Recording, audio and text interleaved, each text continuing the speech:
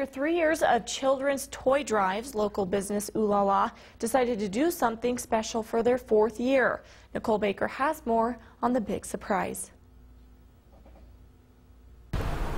Basketball is a universal language, and one that CSI basketball players have no problem sharing with the newest little residents of Twin Falls.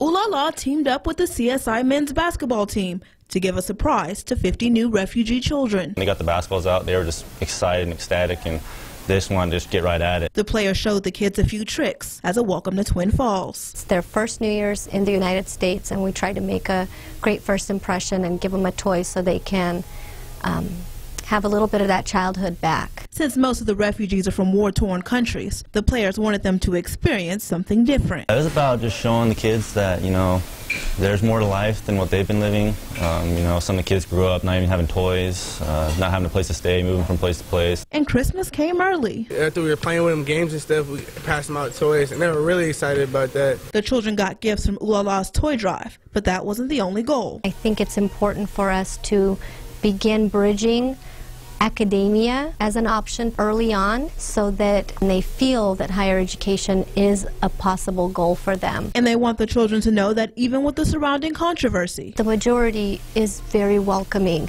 and to have the community come together and welcome them and restore a sense of innocence in their childhood. I think that these children will rise to the opportunities and really soar. There's a place for them here and that they're welcome anywhere and we just want to show them a good time. Nicole Baker, Idaho's First News. Ooh La La just started a book drive, and all the donated books will go to children in the CSI refugee program.